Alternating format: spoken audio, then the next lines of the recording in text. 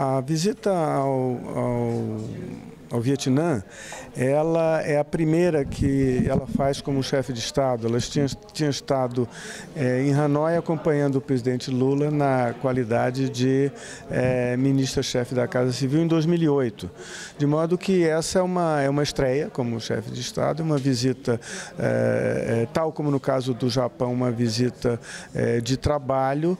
as relações entre o Brasil e o Vietnã se adensam na medida em que o o comércio cresceu é, espetacularmente e há muitas oportunidades entre os dois países que, inclusive, enfrentam desafios semelhantes em matéria de é, políticas públicas de, de, inclusão, de redução das, das desigualdades. O, o, o Vietnã é um exemplo de país que, que passou de, de país pobre, né, em, em, muito pouco tempo, digamos num um quarto de século, para um país de renda média, de modo que há muito também o que, que aprender de, desse processo. Da mesma maneira em que eles olham o Brasil como uh, um exemplo de, de, de, sucesso em determinadas, em determinadas medidas, em determinadas opções para a inclusão social. De modo que há campo aí para, para, para, para aproveitar a, a visita e lançar uh, novas bases de, de, de, cooperação.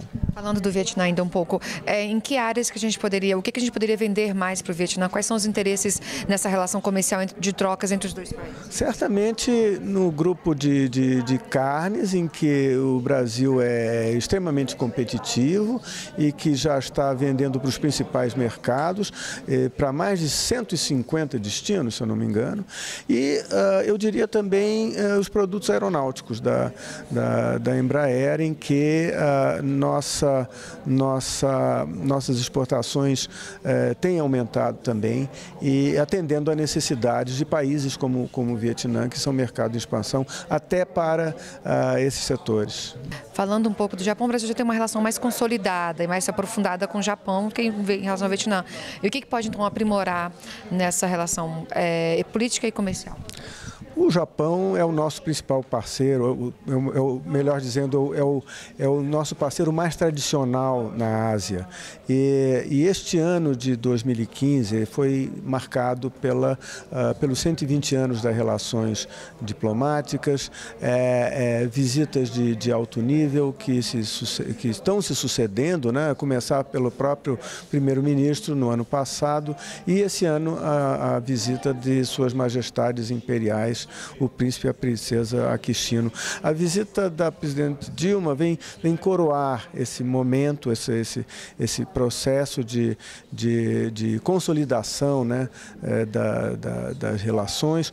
Nós temos um, um vínculo humano é, é, importantíssimo entre, entre os dois países, já que ah, ah, o Brasil ah, abriga a maior comunidade japonesa fora do Japão e no Japão, a, a comunidade brasileira é a terceira mais importante. Ah, há, há, muitas expectativas de que ah, o comércio se, se, se intensifique ainda mais com a abertura do comércio de carnes, aliás, até nos dois, dos dois sentidos, com, com, com o,